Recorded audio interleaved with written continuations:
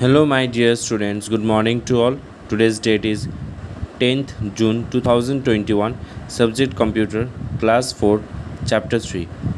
My dear students, I have given this question as a homework, so I'll read the question for you until the answer.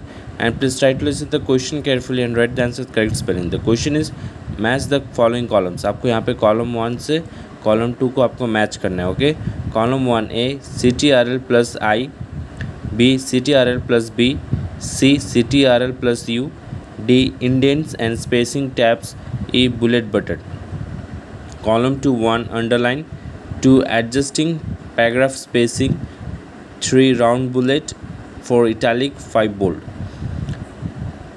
A. Con control I for italic B. Control B 5 bold C. Control U 1 underline.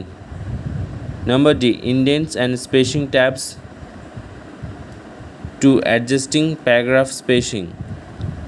E bullet button three round bullet तो इस प्रकार से आपको column one से column two सही answer के साथ match करके सॉल्व करना है। So please try to write the answers correctly thank you